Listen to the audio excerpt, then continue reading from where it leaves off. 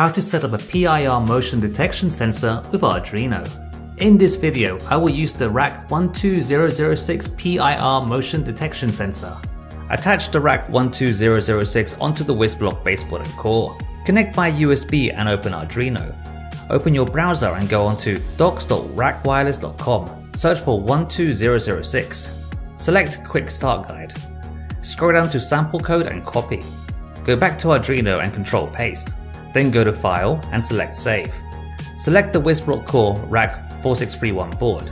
The RAK12006 is also compatible with the ESP32 and RP2040 boards from the WISCore family. Go to Tools, Port, COM17, then Upload. Once uploaded, open the serial monitor to view logs. RAK12006 is now communicating with the WISBlock core. For more information, please visit the link down below.